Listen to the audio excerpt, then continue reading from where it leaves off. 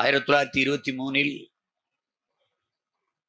கட்டமுத்து தேவருக்கும் சிவனம்மாளுக்கும் மகனாக நம்முடைய தாத்தா பிறக்கிறார் அதற்கு முன்பு பிறந்த குழந்தைகள் எல்லாம் இறந்து போய்விட்டதால நம் தாத்தாவும் இறந்து போய் விடுவாரோ என்கிற அச்சம் அவர்களுக்கு வருது பெற்றோர்களுக்கு வருது. அப்போ ஊர் வழக்கப்படி பாப்பாவட்டி வழக்கப்படி தானம் பெறணும். வீடு வீடுக்கு போய் தானம் பெற்று அந்த காசை வச்சு குலதெய்வம் கோயில்ல போய் முடியிறைக்கு மூக்கு குத்துறாங்க அப்ப மூக்கு குத்துற அந்த நிகழ்வு அந்த மூக்கை குத்தி மூக்கையா என்று பெயர் வைக்கிறார்கள். அதனாலதான் மூக்கையா தேவராயிடும் உள்ளூர்லயே தொடக்க கல்வியை கற்கிறார் அப்புறம் மேல இங்க வந்து படிக்கிறார்.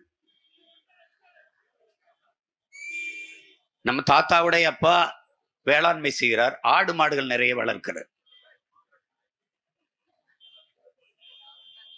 படிக்க போறார். மதுரையில போய் கல்லூரியில சேர்றார். இடையில என்னன்னா கல்லூரியில போய் சேரணும்னு நினைக்கிறார். அந்த நேரம் கொடுமைக்கு ஒரு கொடுஞ்செயலாக பாம்பு கடிச்சிருது தாத்தாவை. அது என்ன அன்னைக்கு இன்னைக்கு நவீன மருத்துவம் இல்லாத காலத்துல நாட்டு வைத்தியம் பார்த்தேன். ரெண்டு மாசம் ஆயிருது அவர் குணமாயி வெளியில வர்றதுக்கு. அதுக்கப்புறம் கல்லூரியில சேர முடியல இடைநிறுத்தம் ஆயிருது. கல்லூரியில தொடர முடியல. பிறகு ஆயிரத்தி தொள்ளாயிரத்தி நாற்பதுல போய் சேர்றாரு கல்லூரியில சேர்றாரு. இளங்கலை பொருளாதாரம். நானும் இளங்கலை பொருளாதாரம் தான். சீமானவன் தம்பியில் என்ன பண்ணானு வெந்த வெள்ளக்காரனை எதிர்த்து என் பாட்டன் முப்பாட்டன் சண்டை போட்டானோ? அதை லண்டன் மாநகரிலே வீரத்தமிழர் முன்னணி என் பாட்டன் தீரன் சின்னமலை அழகுமுத்துக்கோன் பூலித்தேவன் மருதுபாண்டியர் வேலு நாச்சியார் சுந்தரலிங்கனார் எல்லாரு படத்தையும் பெரும்பிடுகு முத்தரையர் எல்லா படத்தையும் வச்சிருந்தது அந்த கூட்டத்துக்கு வந்த வெள்ளக்காரன் என்னடா அப்படி கூடியிருக்காங்க? பழகர்னா எவன் என் பாட்டன் பூலித்தேவன் வெள்ளக்காரன் எடுத்து சண்டை போட்டான் பாருங்க அவன்கிட்ட தன் படம் எடுத்துக்கிட்டான். வெள்ளக்காரன் செல்ஃபி. இதுதான்டா இதுதான்டா நாம் தமிழர் பிள்ளைகள் சாதிச்சது. என் பாட்டன் பக்கத்துல படம் எடுத்துட்டு போடா டேய் படம் எடுத்துட்டு போடா. அதுதான். அதுல நம்முடைய தாத்தா முக்கியத்தவர் அவர்கள் தெரிஞ்சுக்கணும் நீங்க. படிக்கிற பழக்கம் நிறைய பிள்ளைகளுக்கு இருக்கிற வாய்ப்பு இல்லை. படிப்பீங்க பாடத்தை தவிர வேற எதையும் படிப்பீங்களான்னு தெரியல. ஆனா படிச்சவங்க அண்ணன் சொல்லி கொடுக்கணும்ல.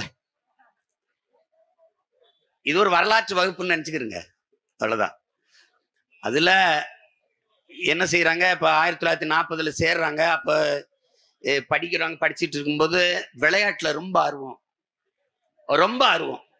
சிறப்பாக விளையாடுறதுனால எல்லாத்துலேயும் சிறந்து விளங்கினால மாணவ மன்ற தலைவராக இருக்கிறாங்க.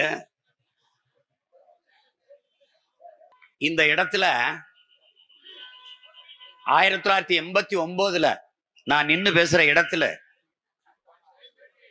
என்னுடைய மாமா நாவுக்கரசர் காளிமுத்து அவர்கள் பேசியிருக்கிறாங்க. யாரை பத்தி? எங்க தாத்தா முக்கியத்தவரை பத்தி.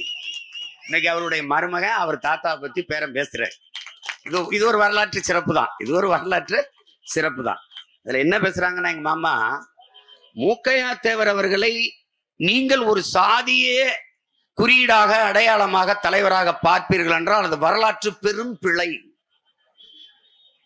படிக்கிற காலத்திலே அரிஜன மாணவர் முன்னேற்ற சங்கம் என்று ஒன்று உருவாகுது.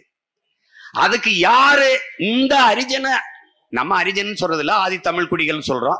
அது அ- அரிஜன்ங்கிறது அது அப்ப பயன்படுத்தப்பட்ட வார்த்தை அதை நான் பயன்படுத்தி பேசுறேன். அந்ததுக்கு அந்த சமூகம் சாராத ஒருவர் தலைவராக இருக்க வேண்டும் என்பது எல்லாருடைய விருப்பம்.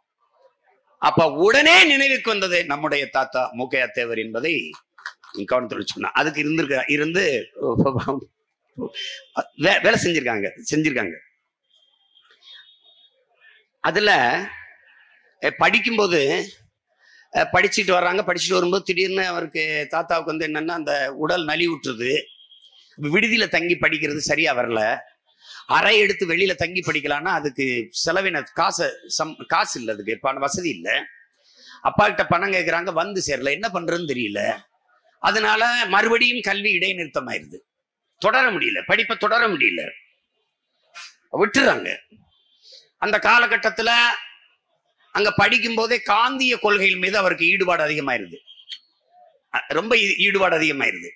அப்ப என்ன செய்யறாங்க காந்தியுடைய கிராம சுய முன்னேற்றம் இருக்கு பாருங்க. அந்த திட்டத்துல அவருக்கு ரொம்ப ஆர்வமாயிருது. கிராம வளர்ச்சியில. அப்ப காந்தி கிராமத்துக்கு போய் வேலை செய்யலான்னு போயிடுறாங்க. அங்க போய் ஜி ராமச்சந்திரன் சவுந்தரம்மாள் இவங்களை சந்திச்சு அங்க வேலை செஞ்ச ஜெயநாதன்ங்கிற ஒரு கீழே போய் வேலை செய்யறாங்க வேலை செய்யறாங்க அங்க ரெண்டு மாசம் வேலை செய்யறாங்க அதுக்கப்புறம் நெடுங்குளம்ங்கிற கிராமத்துக்கு போய் வேலை செய்ய டாக்டர் கயத்துங் கயத்தான்ங்கிற ஒருத்தட்ட போய் வேலை செய்யறாங்க அப்படியே வேலை செஞ்சுக்கிட்டு இருக்கும்போது அந்த இடைப்பட்ட காலங்கள்ல ராமகிருஷ்ண பரமஹம்சர் விவேகானந்தரை பற்றி அதிகமா படிக்க தொடங்குறாங்க. ஒரு ஆன்மீகத்துல பெரிய நாட்டம் வருது. அதுல இருந்து போய் சென்னை கடற்கரையில இருக்கிற ராமகிருஷ்ண பரமஹம்சர் மடத்துல போய் சேர்ந்துடுறாங்க. அங்க போய் வேலை செய்யறாங்க தாத்தா. நல்லா கவனிக்கணும். அங்க போய் அந்த வழிபாட்டு நெறி முறை இதெல்லாம் பழி கற்றுக்கொண்டு இருக்கும்போது குடும்ப சூழல் காரணமா சரி திருப்பி வந்துடுறாங்க. வந்து அப்படி இப்ப இப்ப பாருங்க எங்கேயுமே போக பிடிக்கல. நினைச்சு பாருங்க தெரு கோயில்கள்லையும் மடங்கள்லையும் படுத்து கிடந்திருக்காங்க. ஒரு தலைவனை நீங்க கற்பனை செஞ்சு பாருங்க தெரு கோயில்லையும் மடங்கள்லையும் படுத்துக்கிட்டு கிடந்திருக்காங்க. அதுக்கு பிறகு ஆயிரத்தி தொள்ளாயிரத்தி நாற்பத்தி நாலுல மறுபடியும் கல்வியை தொடரலாம்னு போய் சேர்ந்து பட்டப்படிப்பை முடிச்சிருக்காங்க. அங்க படிக்கும்போது அவருக்கு நண்பர்கள். நண்பர்களோட சேர்ந்துக்கிட்டு இந்த சமூக முன்னேற்றம் குறிப்பாக பிற்படுத்தப்பட்டு ஒடுக்கப்பட்டு கிடக்கிற கல்லர் சமூக முன்னேற்றத்திற்கு பாடுபடணுங்கிற எண்ணம் வந்துருது. இங்க எடுத்த உடனே இந்த சமூகத்துக்கு பாடுபட்டான்னு நினைக்காதீங்க. காந்தி கிராமத்துல வேலை செஞ்சது இந்த சமூகம் இல்ல.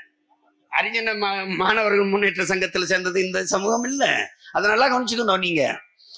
அப்படி வேலை செய்யறாங்க அந்த சூழல்ல தாத்தா கல்வியை முடிச்சுட்டு வந்துடுறாங்க. வந்தபோது ஏ, உங்களுக்கு தெரியும் CT act criminal tribes act குற்றப்பரம்பரை சட்டம் சுமத்தப்பட்டுருச்சு.